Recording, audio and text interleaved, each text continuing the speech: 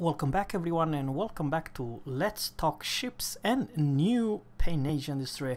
I already talked to you uh, about those uh, earlier but because it has been changed in 0.6.11, the new oncoming patch, what do we expect? You know, Wargaming are testing them like crazy and they have to have some kind of a different versus, let's say Benson's Loyang and uh, the rest of the destroyers.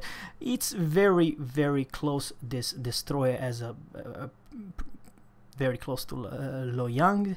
Uh, after all, it's a Pan-Asia destroyer, and you can read uh, all about uh, the name of the this uh, Tier 8 destroyer.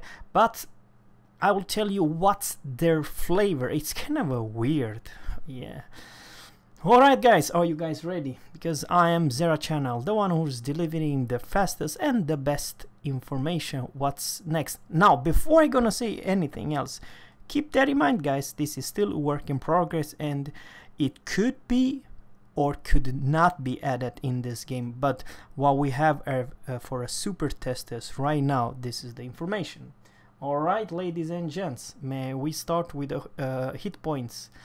Oh 15500 maximum speed 37.5 turning radius is just absolutely fantastic 570 meters. Rudder shift 3.49 now all those stats it's like with no captain with no module whatsoever. It's a stock configuration but in general let me put it it's basically a benson. Uh, speed turning radius and um, armor you name it it's basically a Benson, but not quite, guys. Air detection 3.63, 7.38. I honestly believe if you have uh, the camo and the captain's, um, uh, I'm talking about concealment expert, you do will have this bugger at 5.8 kilometers. 5.8 so even though uh, with module and all stuff like that uh, it's 5.8 now what's the difference between Benson and Loyang? Good that you asked. I will answer for you. It's a US smoke remember but you can um, change uh, if you want smoke you always have smoke. But instead of speed boost you will have uh, radar 1 and radar 2 the, the um, gold radar. I honestly believe I am not quite 100% the range. It's about 7.5 kilometers in range and only lasts for 10 seconds. At tier 8 only tier 10 seconds. But in general they uh, have such a great concealment and a, a, fast rate of fire that I honestly believe that uh, how you play with this it's like uh, with Z52 you panic. But in Z52 you don't have a, um, radar you have um, hydro which basically means that 10 seconds it's not a whole lot. Uh, uh, you may panic that capping smoke uh, destroyer but um, uh, it's not easy to delete because it's 10 seconds only guys. Alright what should I say about the um, layout? It's basically same rate of fire as Benson uh, uh, 180 uh, rotation times 5.29 second but the biggest difference guys it's basically all you can see the percent put your enemy on fire 5% and so on its uh, muzzle uh, velocity, the shell speed, it's 792 uh, of those 120, 127 millimeter guns. But seriously, guys, the biggest difference is that you can change your uh, speed boost uh, versus a radar and torpedoes. Yes, you heard me right. Torpedo 5 by 2 you have uh, 10 torpedoes same as Benson but here's the deal it's a DW. It's deep water torps only, which basically means, folks, and this is the biggest difference, you cannot torp another destroyer and you cannot torpedo some light cruisers. I don't know if it is the Royal Navy uh, cruisers or, but I would bet they will know more information. Once again, those torpedoes are only for other battleships and some heavy cruisers, and of course aircraft carrier.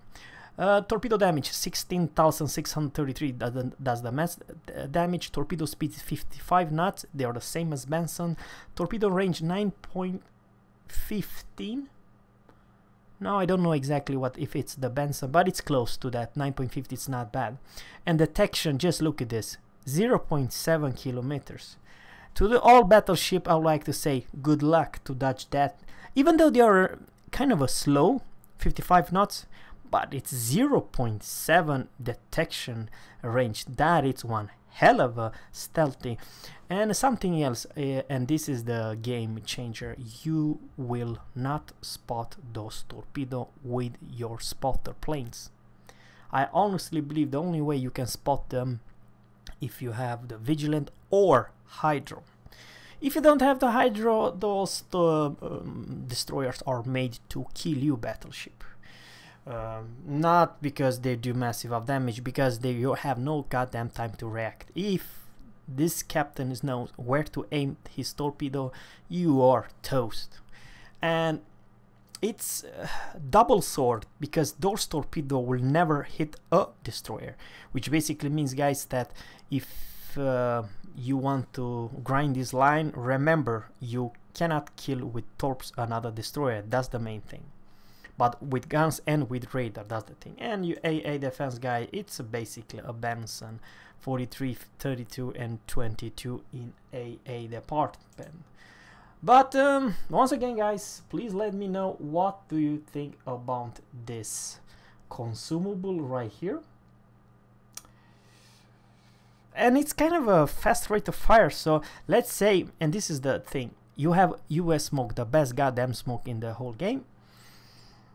You are coming very close let's say within um, you know 5.8 or even closer 5.5 kilometers I know you don't have quite time to delete that uh, destroyer inside his own smoke but if the enemy destroyed does do one mistake and he's going out from his own smoke then you can easily shoot and kill that destroyer at close range because of the fast rate of fire. But honestly, and here's the deal, because the Pan-Asian does not have torpedoes for destroyers, you as a destroyer, you should never panic. Sure, you might uh, receive one or two or three salvos perhaps, but probably you're not dead and the torpedoes are, are not coming in your own smoke. So it's a double sword. You know what I'm trying to say? But uh, in, in general, uh, the thing is that, guys, that those torpedoes are made for battleship and heavy cruisers only. And please let me know what you think about this tier 8 uh, destroyer. I will talk in, in the next uh, video about tier 9 and tier 10 destroy. Thanks guys for watching and always captains, fair seas and goodbye.